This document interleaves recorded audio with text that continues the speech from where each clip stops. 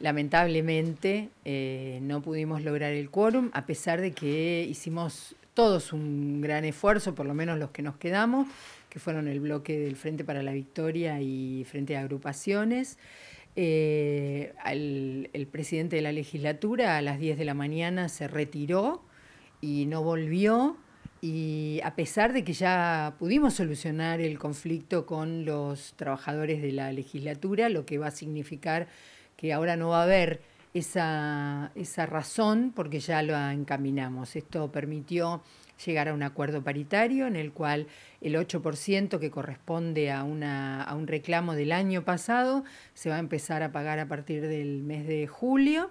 y eh, expresamente se dejó excluido a los diputados de ese aumento, a los y al personal político y a los defensores del pueblo. Entendemos que el espíritu que tiene el proyecto es darle fondos adicionales a la provincia con el aporte de aquellos que han tenido una buena situación económica solamente por el término de un año y para salir de esta situación de crisis que hoy requiere restablecer los servicios básicos. Nosotros entendemos que no dar quórum es una acción política, pero que en este caso los chubutenses necesitamos una una instancia mucho más responsable y superior y sesionar, y si tenemos desacuerdos también resolverlos en el ámbito de la legislatura,